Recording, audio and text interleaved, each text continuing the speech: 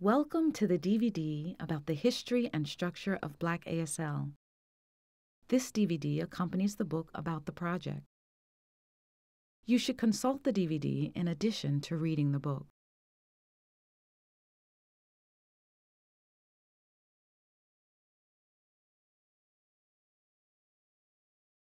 The DVD and book are each comprised of nine chapters. Chapter 1 is an introduction to the project.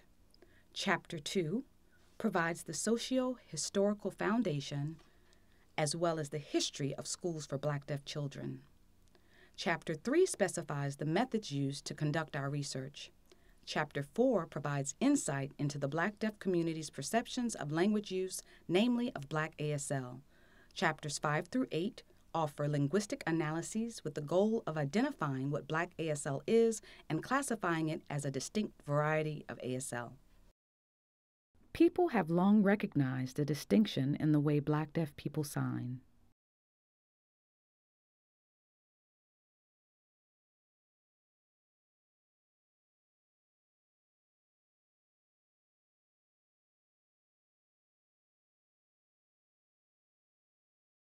People have said when they watch black deaf people use sign language, they definitely notice a difference. As to my own experience, I first attended a school for black deaf children, then transferred to a school for white deaf children. I thought I signed fine until I got to the school for white deaf children. Then I noticed a difference in how they sign. My teachers and my classmates did not understand my way of signing. My teacher, a white woman who could hear and whose parents were deaf, asked me outright, What are you signing? I asked, What are you signing? It was then I realized how different my way of signing was. It left me feeling isolated, uncomfortable, so I made a conscious decision to stop my way of signing, to put my way of signing aside.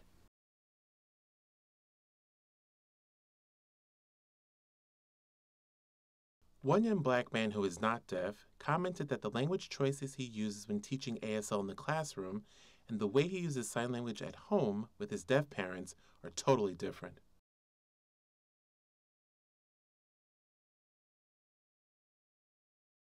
First, how do language varieties come about?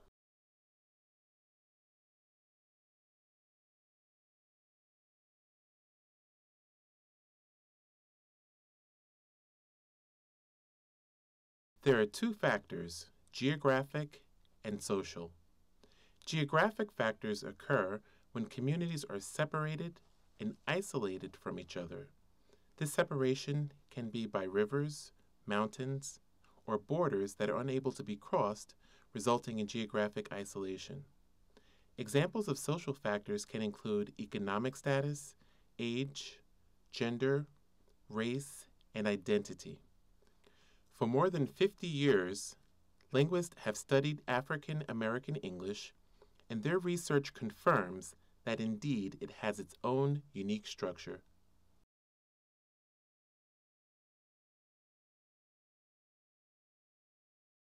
Indeed, we have many research questions to consider, such as Does Black ASL have similarities to African American English? What are the geographic and social factors that made it possible for Black ASL to arise? What do we think are the characteristics of Black ASL?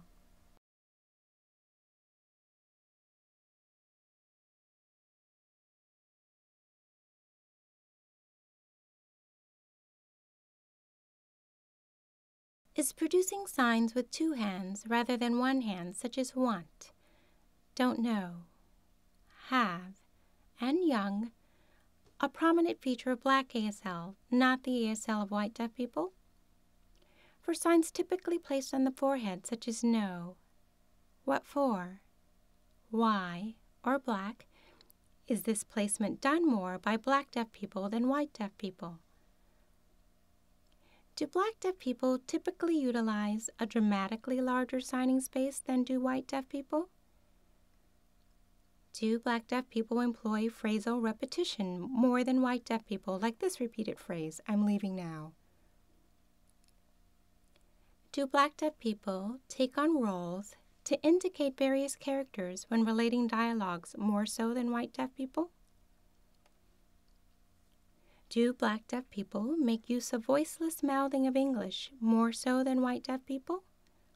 Do black deaf people have ASL lexicon that differs from that of white deaf people? Do black deaf people incorporate black English lexicon into their way of signing?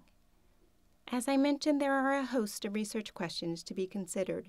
These are the ones we will address in this DVD. Enjoy!